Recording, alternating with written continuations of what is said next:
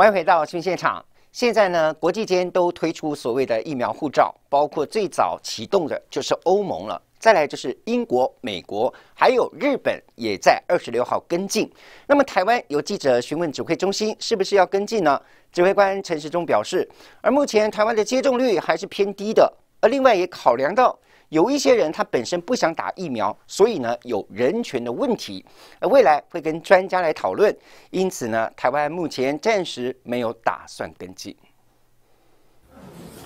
東京品川区では会長と同時に 日本东京品川区许多人在事务所营业的同时，已经前来报道，他们要申请的就是二十六号才开始发放的疫苗护照。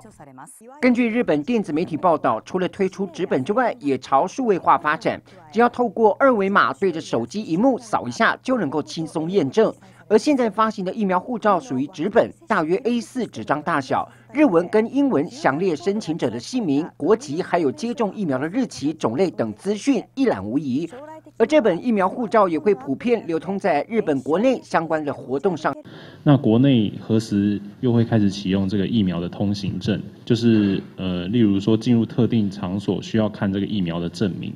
陈时中表示，目前台湾的部分疫苗覆盖率还是偏低，不打算跟进。同时，也考量到国际间为了疫苗护照的问题也有一些争议，将会同专家讨论疫苗人权的平衡问题。疫苗的通行证，哈啊，这个在目前哈，我们大概还不会采用。一个方面，现在疫苗但施打也算低，好，然后第二个哈，在施打疫苗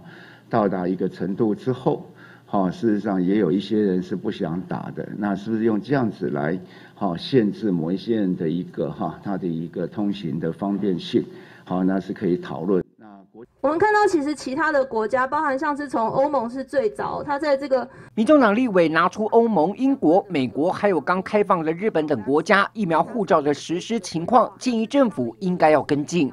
如果今天没有我们的疫苗护照的话，那这样子的话，其实有很多的这些旅客，不管是我们的旅客要出去，或者是其他国家旅客要进来，其实都会造成很大的问题。重点放在边境，高鸿安指出，疫苗护照能够大大降低商务人士或者是来台人士的便利性，其中隔离天数还有免隔离的部分，也是提升往返效率的重要一环。连接卫视张玉成台北采访报道。